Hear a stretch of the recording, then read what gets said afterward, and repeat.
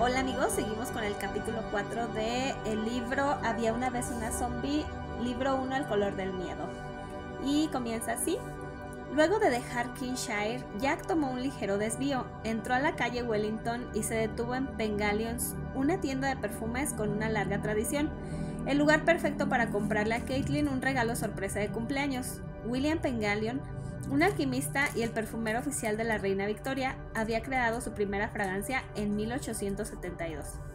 Cuando habló con Caitlin por primera vez, hacía dos meses, todo lo que quería era ser su amigo, pero ella había resultado ser esquiva y rara y única de una manera cool, triste y vulnerable al mismo tiempo. No podía evitar que le gustara. Jack abrió la puerta de la tienda y le llegó una sinfonía de olores, vainilla, jazmín, sándalo y otros aromas exóticos. El piso del viejo local londinense estaba hecho de madera maciza de castaño. Una pequeña chimenea iluminaba el lugar y un gran candelabro colgaba del techo. Los gabinetes de caoba roja pulida contenían un vasto repertorio de frascos con perfumes, polvos, lociones, velas y otras botellas lujosas. Jack no tenía idea de cuál fragancia comprar para Caitlin y empezó a dudar de si sería una buena idea.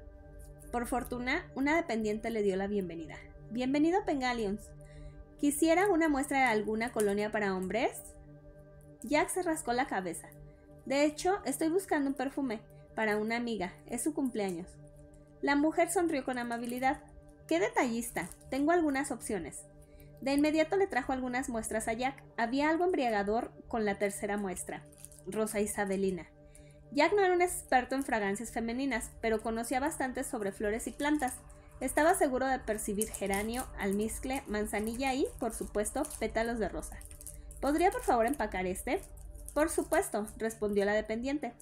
La mujer volvió pronto con el empaque y una tarjeta de regalo para que Jack la firmara. Jack sacó su teléfono y su billetera y los puso sobre el mostrador. Le dio el dinero a la dependiente y empezó a escribir una corta nota a Caitlin. Le deseó un muy feliz y significativo cumpleaños. Adiós, le dijo a la mujer mientras salía de la tienda, con el regalo en una mano y su billetera en la otra. Ya cruzó a la derecha y caminó hacia media cuadra cuando la vio caminando directo a él. Piper, Page y Laila. La mirada cautelosa de Piper se iluminó al verlo. ¡Qué sorpresa! Hola, Jack. Él saludó con la cabeza. ¿A dónde van? A Pengaligons, respondió Piper. Compras de último momento, añadió Page, Buscamos fragancias elegantes para el baile de máscaras. Piper vio el paquete que llevaba Jack. Parece que ya has estado allí, dijo Piper. ¿Se trata de una colonia irresistible para caballeros? Jack se rió con timidez. No, no, es un regalo para Caitlin. Es su cumpleaños. La mirada de Piper se endureció. Parecía luchar para mantener su sonrisa. Puso amigablemente su mano sobre el hombro de Jack. Sus dedos planchaban el cuello de su camisa. Jack, querido, ¿qué tal si tú y yo vamos al baile juntos? dado que ninguno de los dos tiene pareja a tan pocas horas de la fiesta. Muy amable de tu parte, Piper, pero ya he hecho planes con Caitlin. La mano de Piper reculó, sus ojos se entrecerraron. No quiero sonar clasista, Jay, pero ¿en verdad quieres que te vean en el baile con alguien como Caitlin? Jack sonrió. Me encantaría quedarme aquí charlar, pero tengo que irme. Y así, Jack siguió su camino. Se sintió un poco mal por el juego de palabras, pero era la única manera de poner a Piper en su lugar. Jack sabía que, si le daban la oportunidad, Piper desollaría a alguien tan vulnerable como Caitlin. No puedo creer que vaya con esa yankee nerd al baile, se quejó Piper. De acuerdo, asintió Laila. Olvídalo, dijo Paige. Una cita con ella y se dará cuenta cuán aburrida es. Quizá la mande al demonio antes de que termine la noche. Vamos, se hace tarde. Las chicas llegaron a Pengaligons, donde seleccionaron costosos perfumes. Cada una pagó con las tarjetas de crédito de sus padres. Laila lo vio primero. Un celular abandonado sobre el mostrador. Lo tomó rápidamente, lo abrió, puso sus ojos como platos. ¡Este Jack!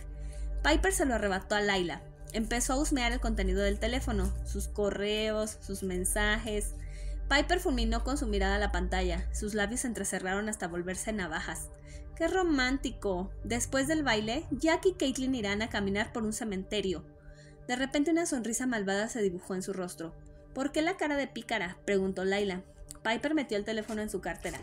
Supón que Caitlin nunca llega al baile. Tendría a Jack todo para mí. Su sonrisa se acentuó, y Katie se llevará el susto de su vida. Las tres chicas intercambiaron miradas cómplices. Eres realmente malvada, dijo Laila. Piper se miró las uñas y sonrió. Este fue el capítulo 4 del libro. Eh, en corto subiremos el capítulo 5. Hasta la próxima. Adiós.